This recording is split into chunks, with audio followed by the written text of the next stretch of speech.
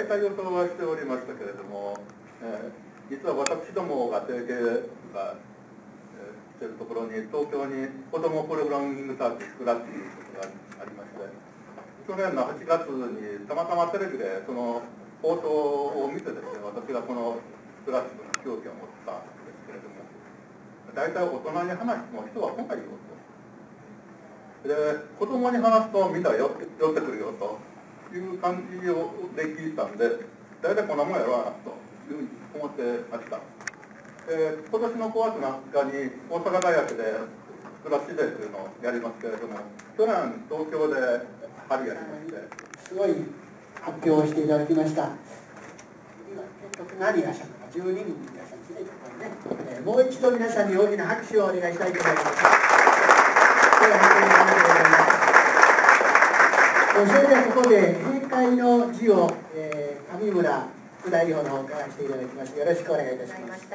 本当に多彩な内容で来られた方も非常に驚かれたと思いますしあっという間の2時間半だったんじゃないかなと思います。もっともっと聞きたいなというのが本音なのではないでしょうか。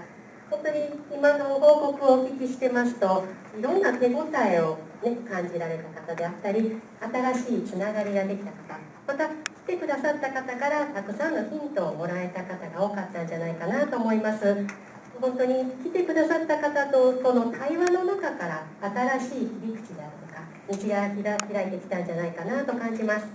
でも今日のね発表をこれしていただいて話をして終わりではありません。代表からもね最初に話がありましたようにここをスタートにしてこの市民市民フォーラムがいろいろあの皆さんのフォローをしていきながらこのプロジェクトを大きく育てていきたいと思っております。方法としていろいろあります。毎月やっております土曜サロン日曜日に開催することがありますがこのサロンを大いに活用していただくまた皆さんそれぞれのテーマをねそこに投げかけていただくという方法もございます。またメーリングリスト等で呼びかけていただくそういった情報交流の場を活用していただくというのも手にねままたあの今日話していただいた中でも本当にこのフォーラムの会員そして会員に関わっているこのフォーラムに関わっている皆さんこちら側の方々もね非常に多彩な方々が多いですしいろんなネットワークを持っています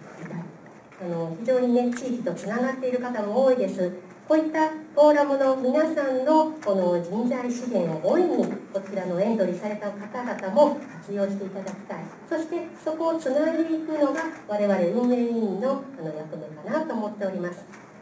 せっかくこうね発表してきたしてくださった方にどーんと活動資金をねお渡ししたいところなんですがなかなか財源の方が厳しい状況でございましてそのヒントとしてこちらの広いね皆さん入ってくださった扉を出たところに漁師吹田市豊中市からの助成金情報を置かせていただいてます。吹田市さんは輝きという名前で1枚もののプリントを用意してくださってますし豊中市さんの方では市民公益活動基金として豊中夢基金であったり近々プレゼンテーションこういった夢基金の方にねあの応募された方のプレゼンテーションの次回このコラボでありますのでねそちらのチラシもございます。ぜひそちらもねあの新しいつながり作りであったりあこんな形でかたあの思いをね形にしていくんだなということのヒントに活用していただけたらなと思います。また豊中市、吹田市、そういった支援をしている中間支援組織もたくさんありますのでね、こちらのチラシもありますから、ぜひご活用いただけたらなと思います。今日お越しになった皆さん、本当にさまざまな可能性を感じた2時間半だったのではないでしょうか。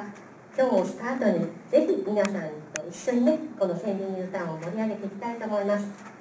そして差し当たりまして、あの3月にもねサロンを企画しております。3月の17日の土曜日北千里ディオスのパフォーマンスホールまた5時間のあパーティールームそうです。はい、午後に予定しております。あの詳細はメーリングリストの方でまた流させていただきますのでね、会員以外の方もぜひ今日、ね、会員になっていただけましたら、そういった情報もね、あのゲットできますのでね、はい、あの引き続き皆さんと一緒にこの千里ニュータウンを盛り上げていきたいと思っております。以上でね、あのこちらからの今後のフォローの話を終わらせていただきます。ありがとうございました。お開きでございますが。えー、一番最初にちょっと申し上げましたがあの今年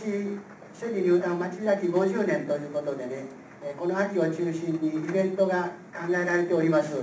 今あの漁師で実行委員を募集されておりますのでね、えー、まだまだあの募集枠あるそうでございますのでぜひそのイベントに関わりたいな何かお手伝いしたいなという方がいらっしゃればぜひ、えー、豊中市吹田市の、えー、千里入団関係の部署へね、えー、お問い合わせあるいは申し込みをしていただけたらなそういうふうに思っております。今日は本当に皆さんと、えー、楽しく楽しくかな、えー、愉快に過ごすことができました、えー、これを機会にまたともどもに、え、元気いっぱい千里入団を盛り上げていきたいなそういうふうに思いますのでよろしくお願いいたします。今日は本当にありがとうございました。これをもちましてお祝いいただきます。出演の皆さん本当にありがとうございましたご来場の皆さん本当にありがとうございました。